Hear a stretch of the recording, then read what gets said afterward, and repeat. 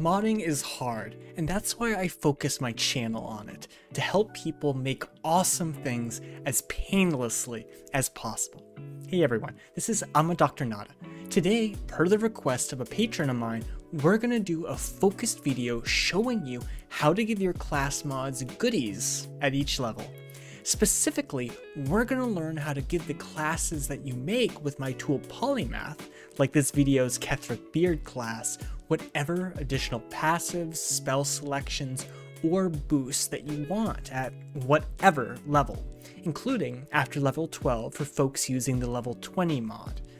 Be aware that I haven't tested Polymath mods with that mod.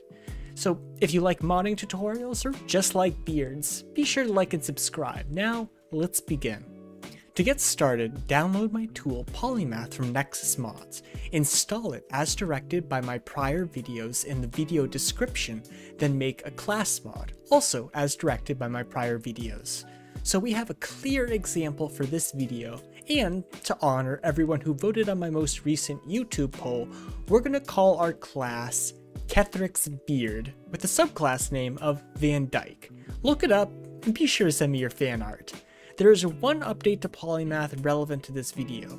With Polymath 2.1.1, you can now give your class fast leveling to expedite testing, or to just make it overpowered. The checkbox is in the main window. Now that your mod is ready, let's give it goodies at every level. Open the progressions every level.lsx file in your mod's progressions folder, also opening the regular progressions.lsx file in that directory. Before having fun customizing things, we have to ensure that the game matches what you will code to your class and subclass. So first, copy the node for the main class and subclass from your real progressions file, replacing the level 1 entries in the new file.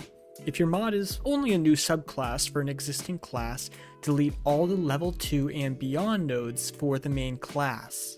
So copy and paste the name of your class into the name field for every class node, or Ketheric's Beard, doing the same for subclass, or Van Dyke, as shown. Then paste the class table UUID into each class node as well, repeating the process for subclass. The table UUID will be different for class and subclass. Lastly, use the Baldur's Gate 3 modders multi-tool to create a new UUID for every UUID field in the file. Now we can start adding what you want.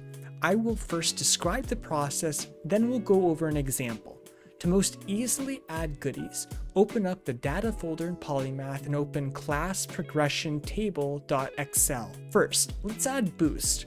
Find something you want, like action resource rage, and paste it into the level node that you want. You can add more than one, separated by a semicolon. You can then repeat the process for selectors, which typically correspond to selecting skills when you level up then add whatever passives that you want. So if I wanted to give my Van Dyke subclass a few goodies at level 5, I would go to the subclass node with a level value of 5. Then we can copy and paste boosts for beard relevant proficiencies like Action Resource Bardic Inspiration.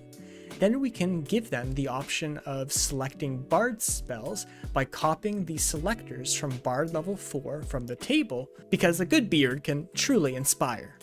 Lastly, we can add a few passives like Danger Sense and Destroy Undead, because with great beards come great power. If you don't want to add anything in these fields at certain levels, I would suggest removing the placeholders that I put between the quotes.